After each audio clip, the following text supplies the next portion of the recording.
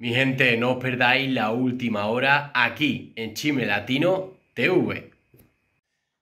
¿Qué tal mi gente? Nuevo mensaje de Anonymous Venezuela a Nicolás Maduro y también las primeras palabras de Mundo González desde España. Así que si os parece, vamos a ver un poco la última hora. Solamente recordaros que a las 9 de la noche horario español tenéis directo todos los días. Coincidiría aproximadamente entre las 12 de la mañana vuestras de América Latina eh, o América en general hasta las 3 de la tarde. ¿Vale? Dependiendo de dónde seáis. Tendríais que verlo. Pero bueno, dicho esto, mi gente, os invito a suscribiros.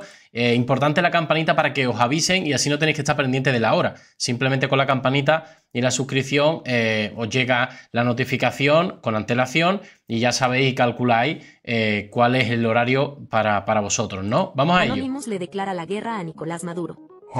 Anonymous ha declarado la guerra al régimen de Nicolás Maduro y ha iniciado sus acciones de sabotaje, ya que los opositores han sido detenidos por órdenes de Maduro y las actas oficiales de las votaciones no se han mostrado. Debido a esto... Esto es lo que están pidiendo 30 mandatarios eh, importantes, ya no solo de Latinoamérica, eh, como algunos países, como, como hemos estado viendo en los últimos días, en el directo incluso de ayer, sino tres expresidentes españoles que también estarían incluidos en esos 30 exmandatarios que para mí de verdad un exmandatario tiene mm, de verdad mi, respeto siempre, ¿no? De un país, sea cual sea. Esto, el grupo de hackers internacionales ha comenzado a sabotear servicios y sitios informáticos en Venezuela. El sitio oficial de la Presidencia de la República fue uno de los primeros blancos de Anonymous, ya que la página quedó inutilizada, haciendo imposible. Ha tenido, ha tenido complicaciones Maduro y ahí es donde está el sustillo y el miedo. Ahí es donde ellos han tenido que, que ir eh, viendo qué es lo que hacen en el futuro porque esto no puede seguir así, pero claro, eh, hay que seguir apretando entre todos. Yo creo que si vamos eh, apretando entre todos, entre los que estamos denunciando esto públicamente como yo,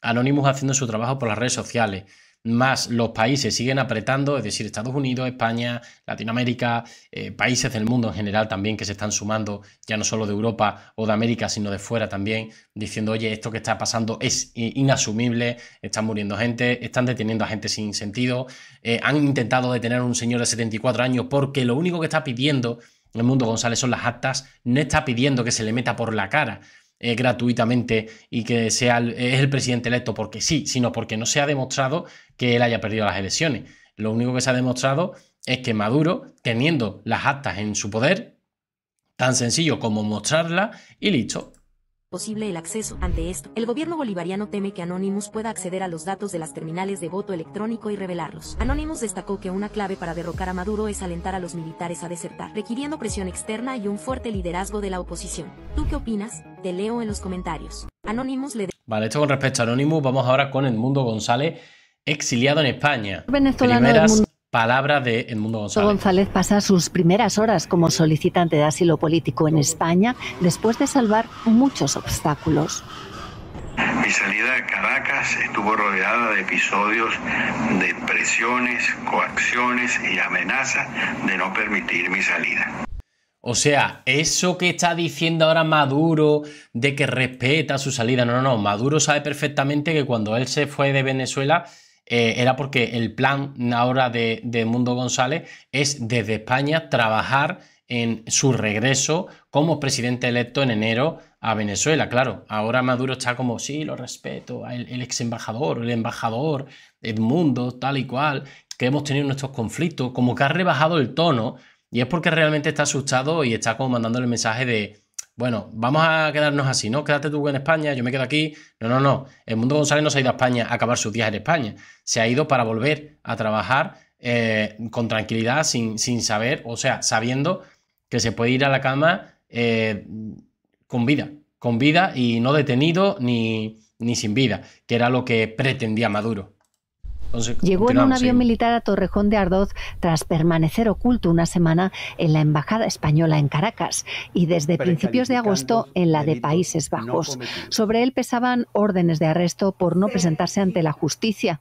Era una situación humanitaria extrema, alega el gobierno español. El ministro Álvarez niega negociación o contrapartidas con el Ejecutivo de Maduro. No ha habido ningún tipo de negociación política entre el gobierno de España y el gobierno de Venezuela. Esto es importante porque Maduro no para decir que ha habido una. Eh, esto lo dijo ayer Maduro, lo vimos en directo, de que habían hablado con España, hombre, para que se fuera el mundo, que sin problema, vamos, poco más que estaba como pactado, ¿no? Poco más daba a entender Es mentira, como que estaba pactado, cuando el gobierno de España ya ha dicho que en ningún momento ha eh, intercambiado ningún tipo de dato ni opinión y que hace muchísimo tiempo que no se hablan con Maduro ni con su partido, ni con el gobierno de, de dictadura de, Maduro, ¿no? Fijar hasta qué punto Maduro intenta engañarnos a todos como que eh, esto está saliendo bien o como él quiere, porque realmente, eh, oye, que el mundo no, no se ha ido, que lo he echado yo, ¿no? Distinta versión la portada desde Caracas. La vicepresidenta Delcy Rodríguez habla de amplios contactos para facilitar a González el salvoconducto, algo que corrobora el fiscal general. Es mentira, que el salvoconducto ha sido eh, entre Mundo González y, España. No ha habido nada de por medio con respecto a... O sea, no tiene sentido que... Eh, es, que, se contradice Maduro y se contradice con el fiscal. No tiene sentido que tú... Mm, eh, saques una orden de aprehensión contra Edmundo González y luego el salvoconducto sea el exilio a España. Pero vamos a ver, si lo que queréis es detenerlo, ¿cómo que lo echáis? A ver, o lo queréis echar o lo queréis detener. Una de dos, poneros de acuerdo. El gobierno de España y Venezuela acordaron el otorgamiento de salvoconducto al ciudadano Edmundo González Urrutia para el gobierno venezolano se cierra la crisis postelectoral. Muchos en el país se debaten entre el abatimiento. Las pocas esperanzas que uno tenía como que se, se fueron con él. Y las ganas de seguir adelante. Necesitamos seguir en la lucha y con fe.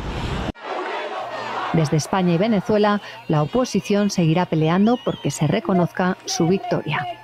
Bueno, ahí tenéis a María Corina Machado, tenéis a Mundo González, cada uno trabajando desde donde puede, como vimos en el día de ayer también en el directo, por eso es importante la campanita para que os lleguen los avisos, María Corina Machado, en la última entrevista que estuvimos viendo en directo, eh, bueno, estaba hablando con un periodista y le decía al propio periodista, ¿no? Eh, bueno, no sabemos dónde está, mm, vemos una pared blanca, claro, puede estar en cualquier sitio, eh, entendemos que está recluida, claro que está recluida.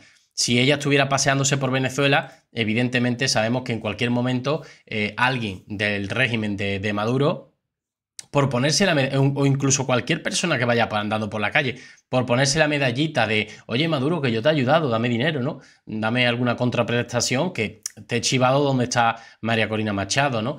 Evidentemente, pues ella está teniendo que vivir aislada y encerrada dentro de eh, alguna casa, algún amigo, familiar o incluso, como hizo el Mundo González, en el sitio donde más segura puede estar ella ahora mismo es en alguna embajada eh, en Caracas. Seguramente esté en alguna de las embajadas de alguno de los países amigos, eh, países hermanos. Y bueno, esperemos que, que, no la detengan y que ella simplemente, pese a su inhabilitación, pueda seguir luchando por Venezuela, por una Venezuela libre y en paz. Mi gente, nos vemos en el siguiente vídeo con más información. Espero vuestros comentarios. Un saludo.